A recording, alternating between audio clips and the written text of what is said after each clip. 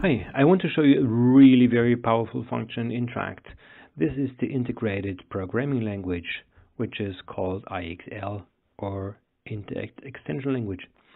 Here is the IXL editor, and with this one you can create your own functions, add-on modules, import, export routines, statistics analysis, whatever is not a standard in Interact.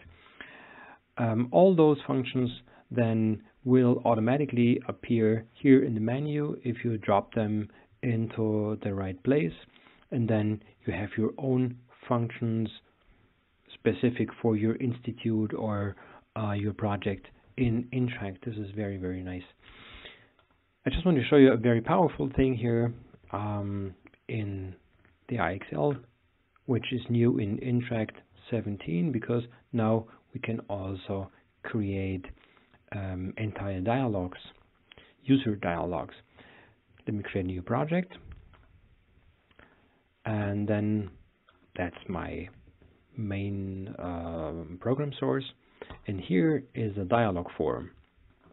And on this dialog form, I can create um, input elements, as you know from any Windows application. Is exactly the same as any Windows, applica uh, Windows application can do. For example, a button, edit box, whatever, I can um,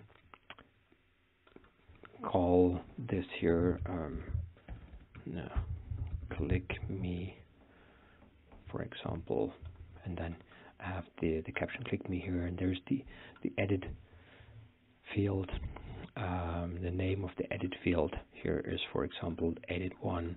Let's call it my edit just because I want to show you something here.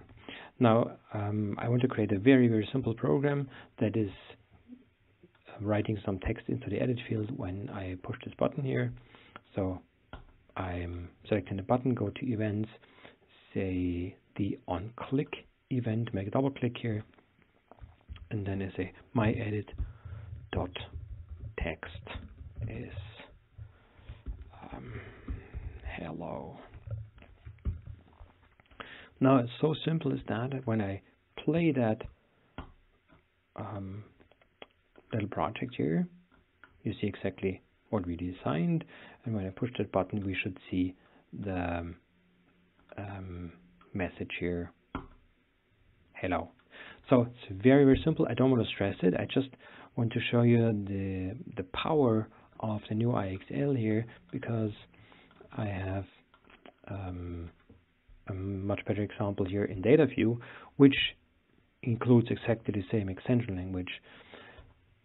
Here, for example, we ha we have uh, written a standard add-on module which is computing some statistics based on the data in here and you see how powerful this is. This looks like a standard Windows dialog, yes, and in fact it is a standard Windows dialog, uh, but only we wrote it ourselves as an add-on module, and you can do the same in Interact or also in DataView.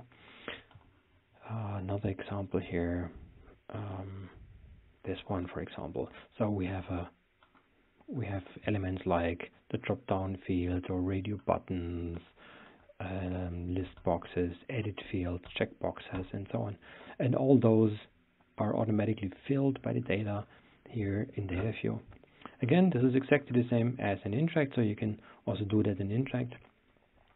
I hope you find this a powerful uh, add-on for your specific projects because, again, anything that's not part of Interact standard functionality can be added by yourself or we can do it for you. If you're not a programmer, then just contact Mangold and we can help you developing your own add-on modules. Um, I hope you like that and to see you soon again on one of the other demos. Thank you and goodbye.